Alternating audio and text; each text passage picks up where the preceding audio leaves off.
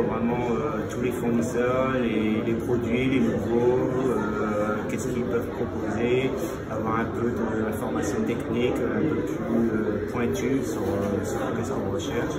Euh, c'est une très bonne journée, c'est très intéressant.